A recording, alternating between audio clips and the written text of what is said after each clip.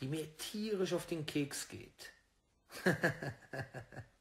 die mir tierisch auf die Nerven geht, inshallah, ja, ist, dass wir andauernd irgendwelchen Vollpfosten, die gegen den Islam reden, unsere Aufmerksamkeit geben, dadurch ihre Reichweite erhöhen und dadurch dafür sorgen, dass sie mehr Muslime, die keinen Plan von der Religion haben, durcheinander bringen können.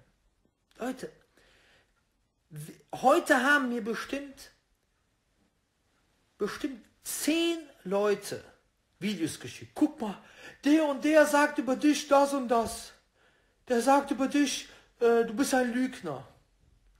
Was, Leute, was interessiert es mich, ob irgendein Idiot über mich sagt, dass ich ein Lügner bin?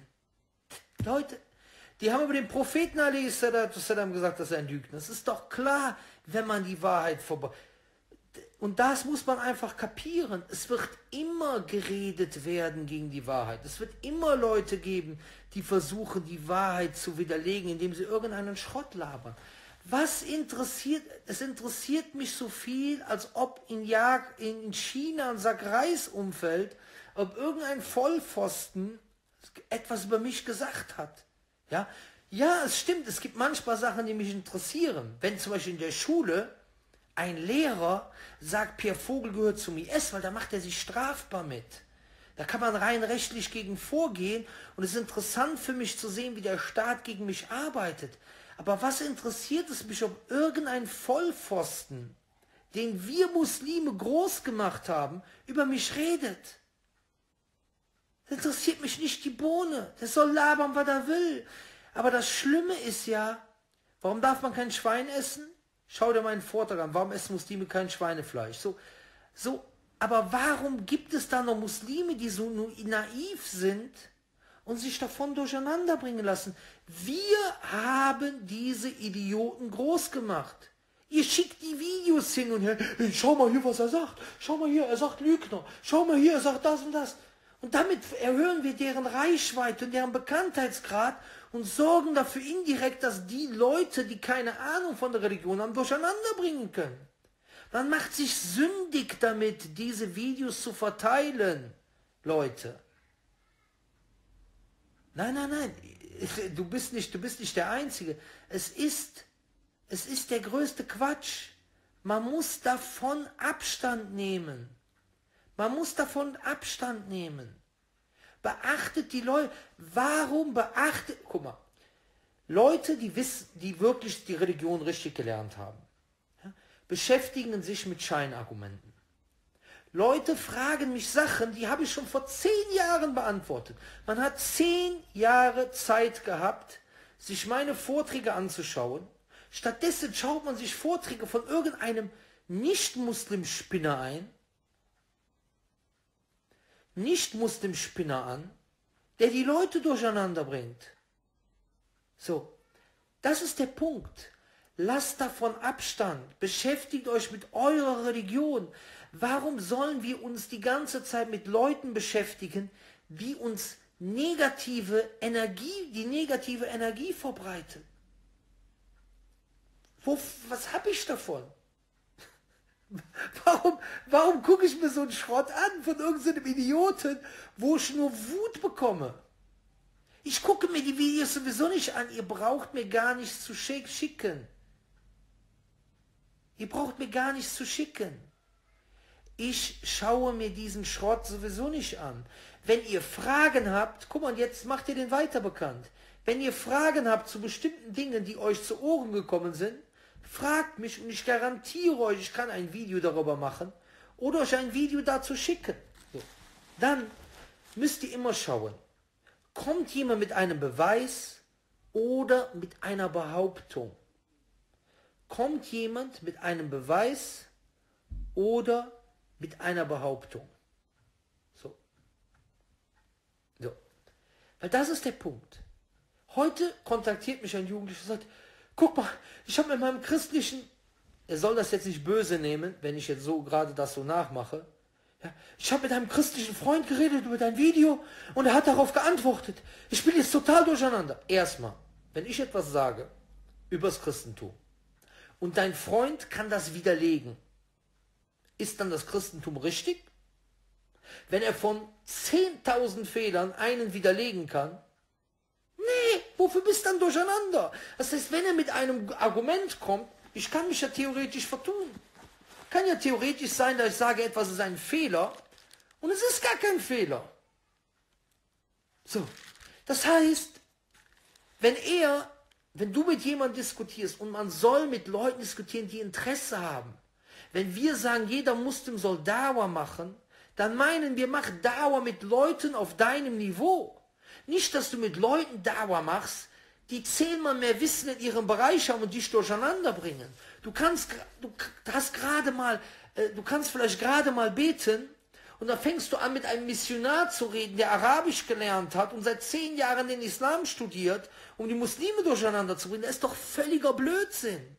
Wenn wir davon reden, man, jeder Muslim kann Dawa machen, dann reden wir davon, ah, du hast einen Klassenkameraden, der ganz normal ist, schenk dem mal ein Buch, nimm den mal mit zur Moschee, oder du kennst einen Muslim, der äh, nicht betet, dann sagst du, Bruder, das Gebet ist wichtig. Darüber reden wir. Nicht, dass du mit Spezialisten redest. Spezi für Spezialisten gibt es Spezialisten. All diesen Schwachsinn, den, mit dem die kommen, haben schon andere widerlegt. Guck mal, das müsst ihr euch anschauen. Dr. Zakir Naik hat mit Dr. William Campbell, das ist der Vorreiter von allen Argumenten, mit denen die heute kommen, eine Debatte gemacht und hat mit ihm den Boden gewischt. So, warum schaut man sich die Debatte nicht an und lernt das, wo ein islamischer Gelehrter den platt macht? So, warum macht man das nicht?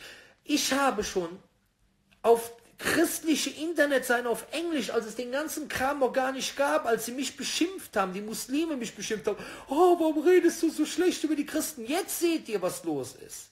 Ja, habe ich schon einen Vortrag gemacht, angebliche Widersprüche im Koran, der geht über zwei Stunden. Da bin ich auf all diese Punkte eingegangen. So, warum schaut man sich das nicht an? So, dann, pass auf, jetzt, jetzt kommt der Beweis heute.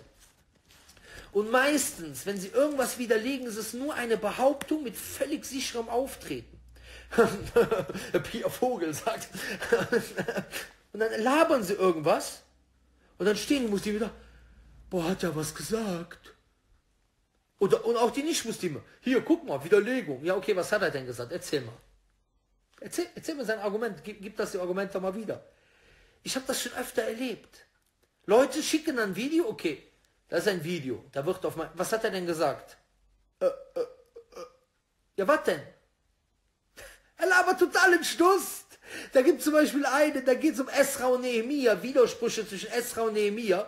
Dann sagt er, ja, Pia Vogel kommt dann mit äh, einem Widerspruch, äh, 18 Widersprüche zwischen Esra und Nehemia äh, und ähm, Ja, er hat das nicht richtig gelesen.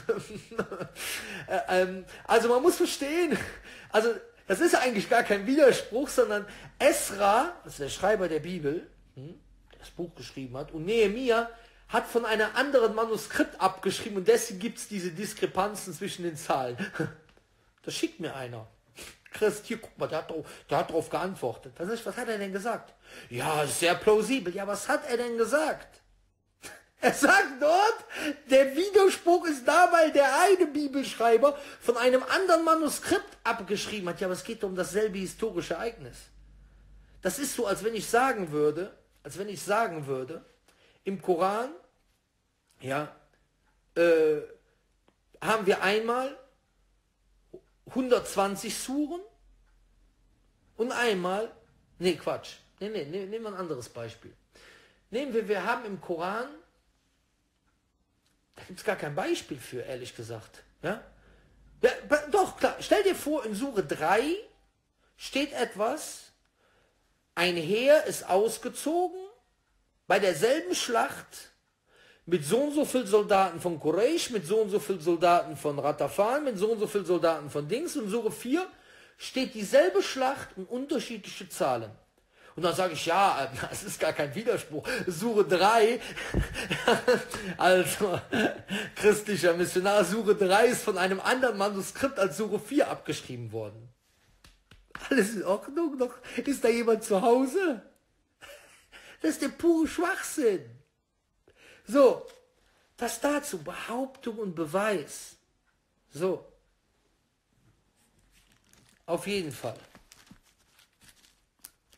Mein Freund ist Alhamdulillah Moslem geworden. Was für einen muslimischen Namen empfiehlst du? Mohammed. Nenn die Mohammed oder Ahmed. Namen vom Propheten Wenn du Selbstmordgedanken hast, schreib mir privat. Deso, du Spinner, Deso Dog war bei mir 2009, habe ich den getroffen. Da gab es noch gar kein ISIS, du Vollpfosten. Der ist 2012 erstmal zu einer anderen Gruppe in Syrien gegangen und später erst zu ISIS. Da hatte ich schon seit Jahren keinen Kontakt mehr mit dem gehabt. 2009 habe ich ihn zufällig in einer Moschee getroffen, du Hirni. So. Boah, es gibt so viel Doofe. Boah, es gibt so viel Doofe auf der Welt. Ich dachte früher immer, Doofheit tut weh. Das bedeutet, weil der Doofe tut sich weh. Nein, es tut dem weh, der sich mit den Doofen abgeben muss. Hey, du hast den doch getroffen, dann nachher zu Idis. Ach so, ja klar. Ich habe auch jemanden getroffen, der ist später Alkoholiker geworden. Da bin ich auch dran schuld, oder? Ich habe 20, was weiß ich, wie viele tausende Menschen getroffen, die danach irgendwas gemacht haben. Bin ich dafür verantwortlich, wenn ich einen getroffen habe, weil er dann 100 Jahre später was macht? Ach, Leute, aber Leute, was willst du mit solchen Idioten diskutieren? Kannst du nur in die Fresse reinhauen. Mehr, mehr nützt nichts kannst nur paff, eine Ohrfeige geben, weil es ist einfach zu anstrengend, mit solchen PKK-Hirnis zu diskutieren. Die sind einfach zu doof. Boah, boah, so viel Doofheit. Boah, das hast du schon 265.000 Mal erklärt. Hey, Diego, Doc war bei dir. Boah, grauenhaft, grauenhaft. Naja, auf jeden Fall weiter. Auf jeden Fall heute kommt dann jemand zu mir und sagt, ja, ich habe dem das gezeigt, das Video. Und da hat er gesagt, nee, guck mal hier. Am ersten Tag wurde Licht schon erschaffen. Nicht am vierten Tag. Da bist du unser Bruder. Erstmal. Wenn er einen Widerspruch, den ich genannt habe, widerlegen kann, heißt das dann, dass der, die Bibel, der, der, das Christentum richtig ist und der Islam falsch? Nee, also. Aber warum hat er dir den Rest nicht gezeigt? Worauf ich eingehe. Weil der Rest ist, weil er hat ihm nur die ersten Verse gezeigt, nämlich Vers 3 und 4 und 5, aber nicht Vers 12, 13, 14, 15, 16, 17. Da steht nämlich, und die Erde begann Gras hervorzubringen, Vers 12, Mose, erste Buch Mose 1. Und die Erde begann Gras hervorzubringen, Pflanzen, die Samen tragen nach ihrer Art und Bäume, die Frucht tragen. So, 13, es wurde Abend und es wurde Morgen ein dritter Tag. Es wurde Abend und Morgen. Abend und Morgen entsteht wann? Wenn Sonne da ist. Sonne war noch nicht da. Es war Licht da. Welches Licht denn? Ein Tag und Morgen reden wir vom Sonnenlicht. Wir haben gesagt, hier, dritter Tag und die Sonne und die Pflanzen brauchen was? Sonnenlicht. Okay?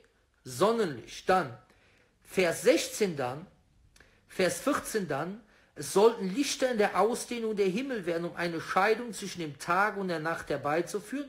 Und sie sollen als Zeichen und zur Bestimmung von Zeitabschnitten und Tagen und Jahren dienen. Die Sterne.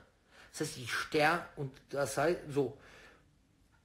Und sie sollen als Lichter, so, in der Ausdehnung der Himmel dienen und auf die Erde zu leuchten. So wurde es. Und Gott machte dann die beiden großen Lichter, das größere Licht zur Beherrschung des Tages, die Sonne, und das kleinere Licht zur Beherrschung der Nacht und auch die Sterne. So setzte Gott sie in Ausdehnung der Himmel, damit sie auf die Erde leuchten und bei Tag und bei Nacht herrschen und zwischen dem Licht und der Finsternis eine Scheidung herbeiführen. Dann sah Gott, dass es gut war, und es wurde Abend, es wurde Morgen ein vierter Tag. Vierter Tag. Das heißt, am dritten Tag wurden die Pflanzen erschaffen, am vierten Tag die Sonne. Naturwissenschaftlicher Humbug. Ganz klarer Fall. Naturwissenschaftlicher Humbug. So, dann hier, jetzt, was anderes. Hier, die Sonne. Ohne, wenn wir sagen, es ist ein Tag von 24 Stunden, okay, dann können Pflanzen überleben ohne die Sonne. Obwohl es sowieso naturwissenschaftlicher Humbug ist.